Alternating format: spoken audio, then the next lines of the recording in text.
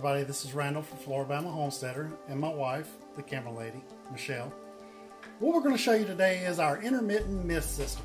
If you look up here on the wall, I have our mist controller mounted and we're only going to show you this real quick. This is an 8056 ACS6S. This is the controller that we selected to do our intermittent mist propagation system simply because we can trigger this thing to, uh, to do a mist um, every 10 minutes for 10 seconds long. And this is one of the only controllers that'll do that. There are a few others on the market, but they're they're not they're not easy to find. So this is the one we chose. And um, now I'll tell you what, let's go on outside and I'll show you the mist bed and how we're set up out there. Okay, we're out here at our mist bed now. Basically, this mist bed is a temporary setup. We have some 1 by 6 treated pine that has um, plastic all in the bottom of it so that we don't have the sand just flowing out everywhere. And we're able to take this up whenever we're ready. And uh, we're done with it. And we can just scoop this out wrap the plastic up and it'll be right back to where it was before we put this together. What we're looking at is a mist irrigation prop propagating system for uh, uh, propagating our mulberry cuttings primarily. And I may put some grapevine cuttings in here and maybe even some gardenias and uh, some other things. But what you see in here also is some of our figs from our, um, our desirable fig varieties that we have here in the back. And then on the front right here, we have some of our brown turkey figs that are from my grandmother's old tree.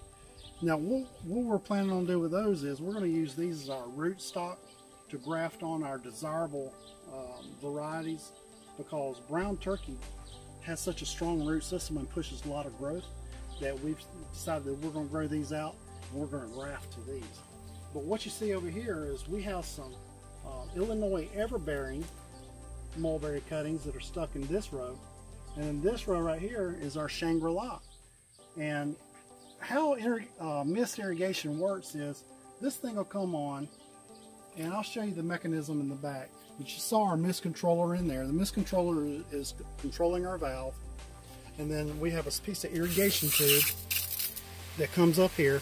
And I just put this uh, piece of flexible uh, mist mist nozzle on here.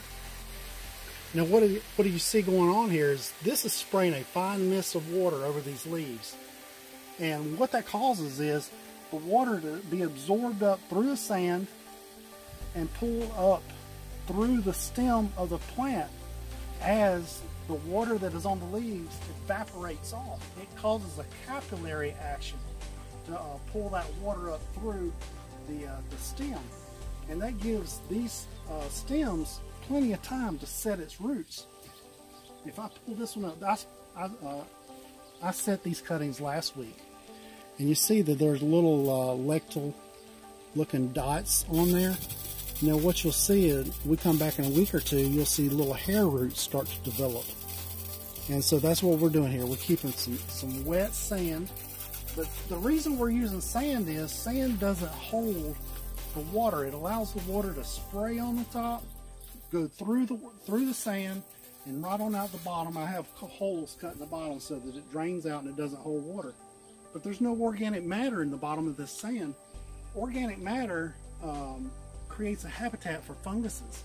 And that's that's the main reason we decided to use the sand is um, it, it's less of a chance of bacterial growth and funguses in here. So um, let's go on around and I'll show you the controller about. All right, guys. Now, before I go any further, if you're finding any value of any of any of this information that I'm telling you, please go on our YouTube channel and subscribe, set your bell notifications, and give us a like. That helps us grow the channel so that we can continue to bring you some uh, valuable information. If you're finding this uh, this interesting, I'd like to be able to, to follow along as we do future projects. All right, so what we have here, this is our well system, our well pump right out of the ground. I have two of these valves set up to irrigate our pecan orchard. This third valve I wasn't using. So I have these wires that go back into our controller in the shop in there, and it controls this valve. And like I was telling you, is that we use this valve to cycle every 10 minutes. It's going to cause that uh, sprayer to spray for 10 seconds long. And uh, so that's the final component is you need the mist controller, one that will do 10 minutes and uh, for 10 seconds long. You need a valve controller and then you need the, the pipe. Now also on this pipe we have a pressure reducer and that keeps from blowing the ends of the, the, uh, the mist nozzles off because there's a lot of pressure coming through this. Uh, this is one inch pipe on this side and so we don't want to blow those uh, those tubes and fittings out over there. So we put a pressure reducer on that just to kind of notch that down a little bit. But, all right, well, if you have any questions, you can leave us a comment, uh, send us an email, and I'll try to do my best to, an to answer them. If you want to know how to set the controller up to do the intermittent mist, there are already videos on the uh, on YouTube that'll show you how to do that in detail. If you really want to know and you can't find those videos, maybe I can take the time and I can go through it and um, and show you those steps. It's kind of cumbersome. I had to watch the video and do it step by step because it's not really a user-friendly thing to, uh, to try to figure out. So that's why I say reference back to those videos. All right, thanks for watching.